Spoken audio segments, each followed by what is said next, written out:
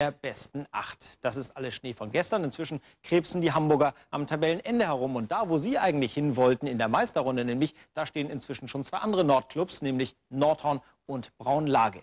Die spielten beide heute in Nordhorn gegeneinander, also ein willkommener Test für diese Meisterrunde. Wer denn schon besser in Form ist, das weiß Wolfgang Biarche. Eigentlich darf hier kein ungebetener Gast rein, schon gar nicht vor Spielbeginn. Aberglaube ist das. Aber heute gab es mal eine Ausnahme, denn die Grafschaft der Ritter, wie Nordhorns Eishockeycracks genannt werden, haben die Meisterschaftsrunde erreicht. Die Runde der besten acht in der Bundesliga. Also bitteschön. Ja.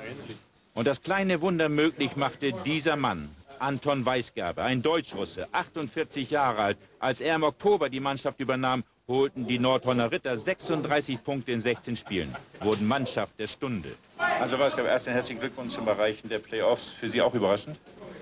Nein, eigentlich nicht.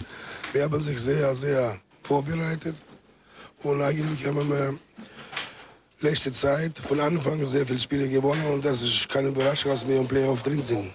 Heute letztes Spiel ohne Mike Miller. Ist das ein großes Handicap für Sie? Ja, der Mike, normalerweise ähm, für mich fehlt er ja, weil der ist unser Torjäger, das ist klar. Aber was soll, die anderen sollen beweisen, also ohne Mike auch das Spiel gewinnen können. Und der Empfang natürlich überschwänglich. 2500 auch zum Abschluss der Punktrunde hier in der Eissporthalle von Nordhorn. Wenn man so will, eine kleine norddeutsche Erfolgsfete, denn auch Braunlage qualifiziert für die Playoffs nach ihrem 52 Sieg gegen Neuwied am Freitag. Tabellensechster gegen Siebter, Nordhorn kontra Braunlage und die Nordhorner von links nach rechts furios. Sven Gericke ist das. Gute Abwehr von Corrado Mikalev dem Italiener im Tor von Braunlage. Gute Stimmung zum Anfang.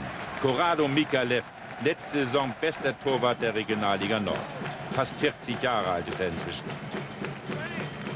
Und wie gerne wäre er dabei gewesen, Torjäger Mike Miller. Vier Spiele ist er gesperrt. Von vier Spielen in dieser Saison hatten die Braunlager nur eines gegen Nordhorn gewinnen können. Das merkte man. Ronald Godet erste gute Chance der Mannen aus dem Harz, so etwa nach fünf Minuten. Dann hatten sie endlich ihre Nervosität abgelegt. Offener Schlagabtausch mit Nordhorner Überlegenheit. Und dann ging's zur Sache. Norddeutsche Keilerei, typische Rivalität der Tabellennachbarn.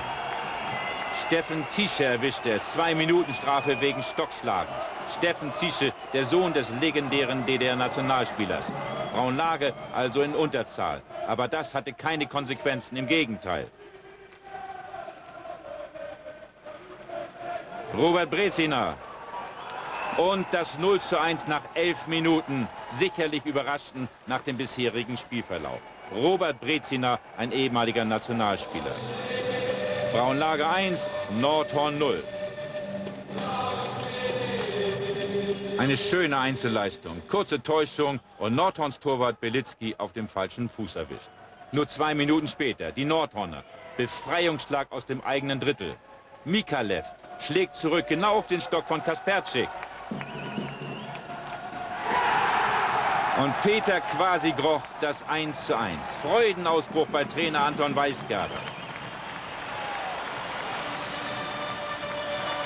Riesenbegeisterung unter den 2500 über Nordhorns erste Sturmreihe. Zuspiel Kasperczyk und quasi Groch braucht nur noch hinzuhalten. Sehr schön herausgespielt, das 1 zu 1. Powerplay, Braunlage in Unterzahl. Nordhorns dritter Sturm auf dem Eis. Und das 2 zu 1. Markus kämpft, der umjubelte Torschütze. Überzahlspiel hervorragend genutzt, schauen Sie selbst. Im Nachschuss Markus Kempf. 2 zu 1, das auch das Ergebnis nach dem ersten Drittel. Verdient. Taktische Anweisung für den zweiten Abschnitt. Anton Weisgerber, ohne Mike Miller und ohne Schubert und Schudinow, da muss er immer mal wieder ran Erklärung abgeben. Dann schauen Sie links oben am Tor. Da regierten plötzlich die Fäuste. André Terjukin und Maurice Limay gerieten sich da in die Haare.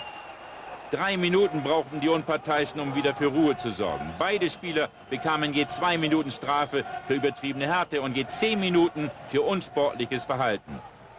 Aber dann hatten sich die erhitzten Gemüter wieder beruhigt, obwohl die Atmosphäre giftig blieb. Nortons erste Sturmreihe auf dem Eis und das 3 zu 1. Fünf Minuten in diesem zweiten Drittel gespielt. Torschütze J.J. Kasperczyk. Torwart Mikalev ohne Chance. 3 zu 1. Es sah gut aus für die Nordhorner, obwohl sie ohne ihren Star Mike Miller spielten. Braunlager aber steckte nicht auf, wurde gleichwertig. Und das der Anschlusstreffer. Da sah Torwart David Belitzky nicht gut aus. Eine halbe Stunde gespielt und nur noch 3 zu 2. Anton Krinner, der Torschütze. Nordhorn hatte einen Spieler weniger auf dem Eis und Braunlage nutzte auch das Überzahlspiel konsequent.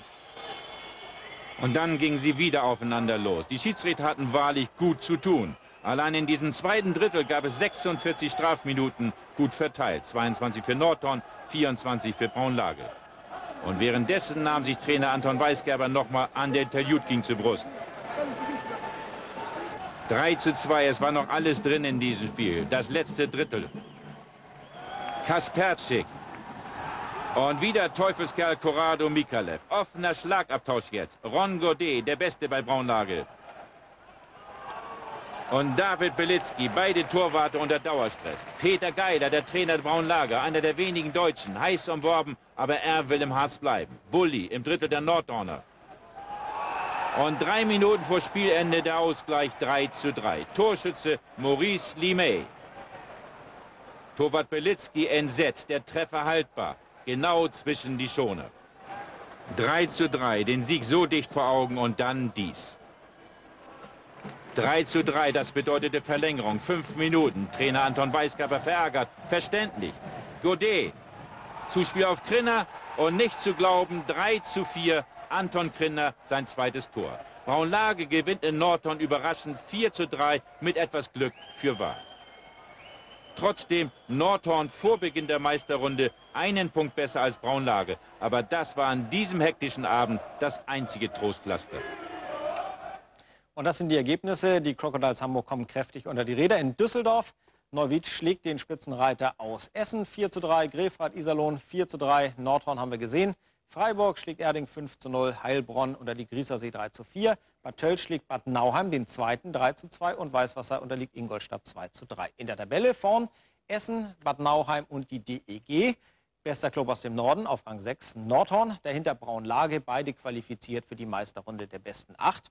Die auch nichts zu bestellen haben die Crocodiles aus Hamburg. Das sehen wir, wenn wir da ganz weit nach unten blättern. Da sind sie auf Rang 14.